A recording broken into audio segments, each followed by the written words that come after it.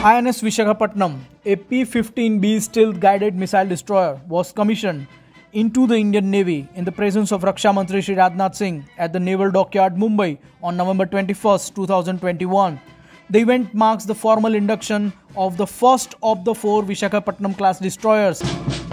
Raksha Mantri appreciated the self-reliance efforts of the Indian Navy, terming Navy's order of 39 of the 41 ships and submarines from Indian shipyards as a testament to their commitment towards achieving Atmanirbhar Bharat. It described the development of indigenous aircraft carrier INS Vikrant as an important milestone in their path to achieve Atmanirbharta. The carrier will increase our reach from the Indian Ocean to the Pacific and Atlantic Ocean. Its commissioning will be a golden moment in the history of the Indian defense. It will be the best occasion to celebrate the 75th anniversary of India's independence.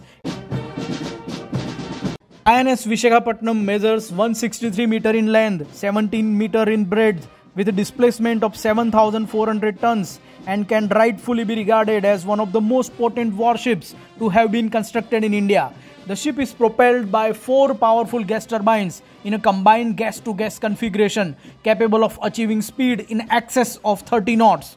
The ship has enhanced stealth features resulting in reduced radar cross section achieved through efficient shaping of hull, full beam superstructure design, plated masts, and use of radar transparent materials on exposed decks. The ship is packed with sophisticated state of the art weapons and sensors such as surface to surface missile and surface to air missiles. It is fitted with modern surveillance radar which provides target data to the gunnery weapon system of the ship. The anti-submarine warfare capabilities are provided by the indigenously developed rocket launchers, torpedo launchers and ASW helicopters. The ship is equipped to fight under nuclear, biological and chemical warfare conditions.